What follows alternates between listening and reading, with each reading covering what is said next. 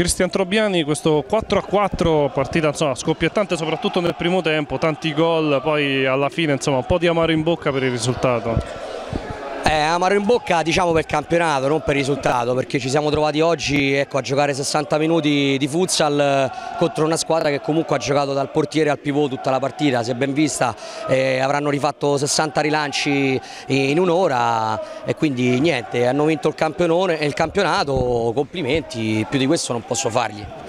Comunque questo non toglie uh, la maturazione dei due ragazzi, è un percorso veramente invidiabile.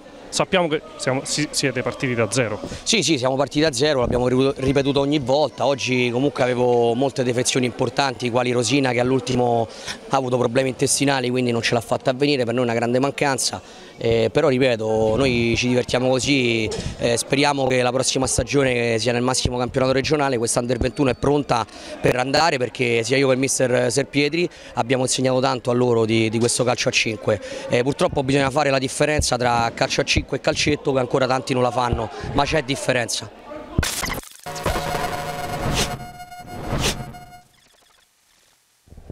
Mister Pisano si è conclusa questa lunga rincorsa insomma, al titolo con questo punto conquistato qui ad Aprilia, questo percorso. Sì, era... se pensiamo all'inizio è stato quasi un miracolo.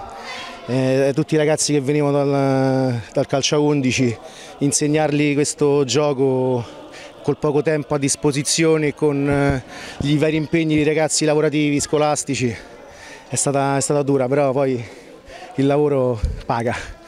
Questa partita qui ad Aprilia, primo tempo scoppiettante, 6 gol, ci si è divertiti, secondo tempo un po' più stretto. Stretto, sì, eh, la paura di vincere, erano due o tre partite che le giochiamo così, con eh, quest'ansia da, da, prestazione, insomma. L'Aprilia è uno squadrone, tutti i ragazzi giovani, 97, sono il futuro di questo sport e, e scommetto da adesso che l'anno prossimo saranno i principali attori di, di questo campionato.